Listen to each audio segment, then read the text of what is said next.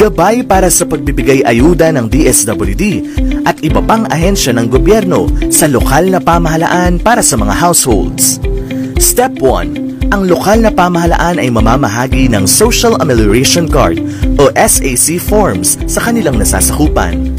Gagawin ito sa pamamagitan ng pagbibigay sa bawat kabahayan o house-to-house basis. Step 2. Ang puno ng pamilya ang siyang magsusulat ng kanilang impormasyon na hinihingi sa SAC form. Kinakailangang ibigay ang kumpletong impormasyon na hinihingi sa dokumento at nakasulat sa malalaking letra. Step 3. Kailangang siguraduhin ng puno ng pamilya na kumpleto ang kanilang impormasyon sa SAC form. Dalawa ang SAC form na pipirmahan. Ang isa ay isusumite sa lokal na pamahalaan na babalik sa inyong bahay at ang isa ay may iwan sa household. Itago ito for reference and monitoring. Step 4.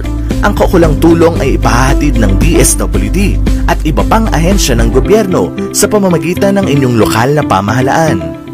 Tandaan, ang SAC form ay isang validation tool lamang na naglalayong makita kung sino ang higit na nangangailangan ng madaliang ayuda. Ang lahat po ay nilalayo naming makatanggap ng Social Amelioration Program, subalit ang pamamahagi po ay naaayon sa level ng pangangailangan. Kung kaya't ang inyo pong kooperasyon, pagbibigayan at pangunawa ay higit na kinakailangan.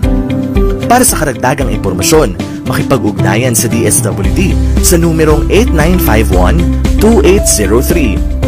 Manatili sa inyong mga bahay. Ang kooperasyon ng bawat Pilipino ay mahalaga sa panahong ito. Makipagtulungan, sama-sama sa pag-iwas sa COVID-19.